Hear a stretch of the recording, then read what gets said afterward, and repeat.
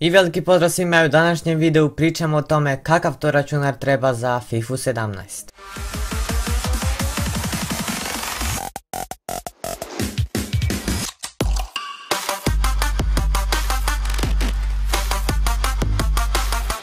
Prije dvije do tri sedmice EA, to jeste FIFA je objavila kakve to specifikacije trebaju za FIFA 17, dakle minimalne postavke i one maksimalne postavke, pa krenimo redom. Dakle, procesor, sada pričamo o minimalnim postavkama, procesor koji treba za minimalne postavke jeste Intelov i3 2100 ili AMD 2X4965. Ove procesore teško je naći nove, ali ako ih nađete, cijena ne bi trebala ići preko 150 km ili nekih 75 eura sasvim solidan procesor, mislim da možda možete naći nešto i bolje ako želite na višim postavkama, ali ako želite minimalne postavke, ovo je ok.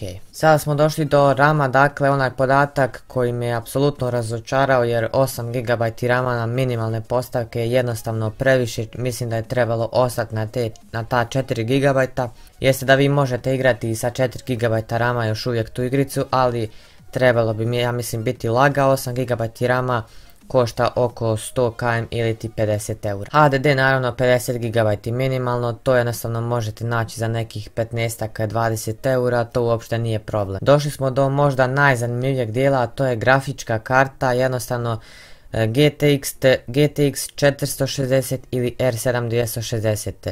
Pa problem sa ovom GTX jeste što je gotovo nemoguće pronaći novu, to je već starija grafička karta koja košta oko 150 konvertibilnih maraka ili 75 eura.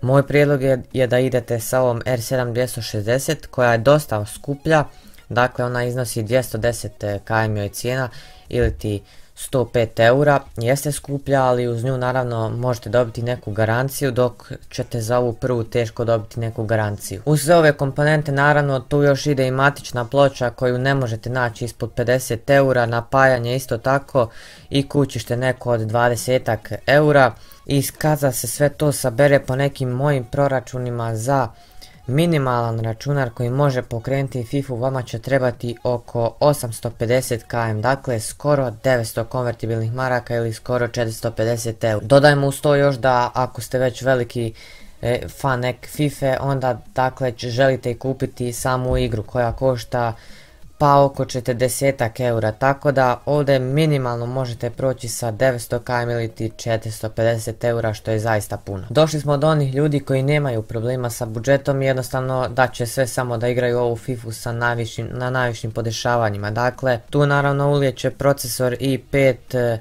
ili onaj 8000 e, serija AMD-ov, naravno grafička karta R9 270, 8 GB rama i riješen problem, ali za takav računar e, treba će vam oko 1500 recimo konvertibilnih maraka ili nekih 750 e, eura. Naravno nekome to nije problem, neko će to i pribaviti, ali i ako želite dakle minimalne postavke 900 km vam je neki minimalac, možda ako kupujete sve polovne stvari e, kroz pik i takve slične stvari, možete proći sa nekih 400 eura ili 800 km, ali ja mislim da je ovo ipak pretjerivanje. I eto dakle, to je bilo to što se tiče ovog videa. Ako vam se svidio svakako ostavite like, komentirajte, subscribeujte se na kanal ako još uvijek niste i mi se vidimo u sljedećem.